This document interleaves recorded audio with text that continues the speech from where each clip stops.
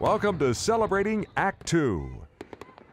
Celebrating Act 2 is the user manual for the second half of your life.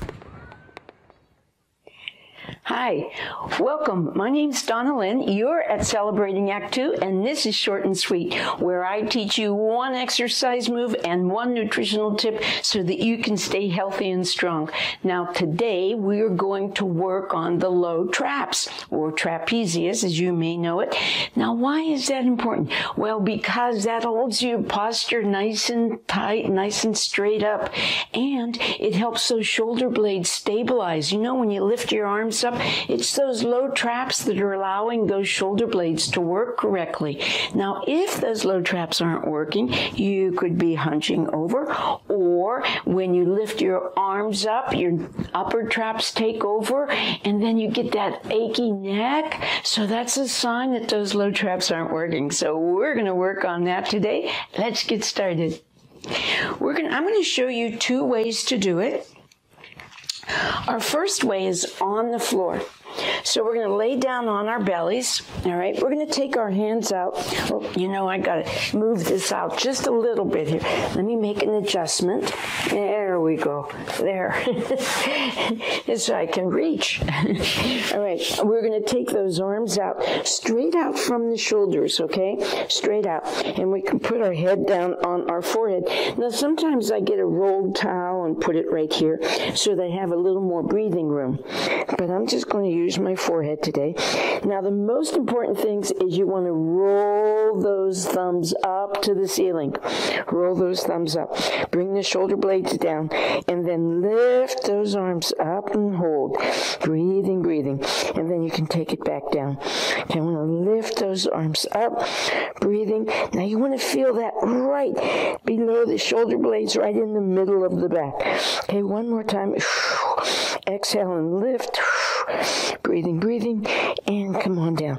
Now, you want to do those about 10 to 12 times, maybe two or three sets. You want to do a good number of them, okay? Now, the way, if that's too difficult, the other way I'm going to show you is we're going to get on the hands and knees and we're going to do that same thing, rolling that thumb up to the ceiling. Shoulder blades are down. Okay, now you're going to lift that arm up, squeeze, squeezing right below the shoulder blades, right in the middle of that back. Squeezing, squeezing, and then release. Now, again, you want to do that 10 to 12 times and work on the other arm too. Ah, yeah, good job. Okay, now today, our nutritional tip is about organ meats. Uh, you probably haven't even thought about those for a long time time. And they're called offal. Well, they may be awful to you now, but you know, back in the day they were really popular, particularly during the war, so they could send the muscle meats to the soldiers.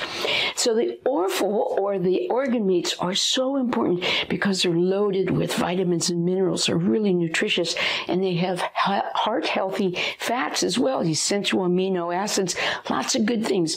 And in the liver and kidneys particularly, they have lots of iron, B vitamin, uh, uh, B2, which will give you a lot of energy, riboflavin, lots of energy with that, and B12 with folate, zinc.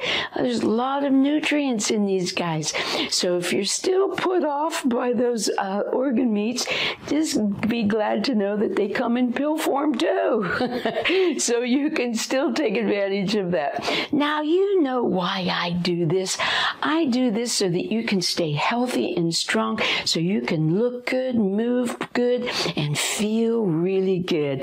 And I look forward to seeing you next time on Short and Sweet. For more on Celebrating Act 2, visit our webpage, follow us on Facebook, subscribe to us on YouTube, and tell your friends. Celebrating Act 2 is the user manual for the second half of your life.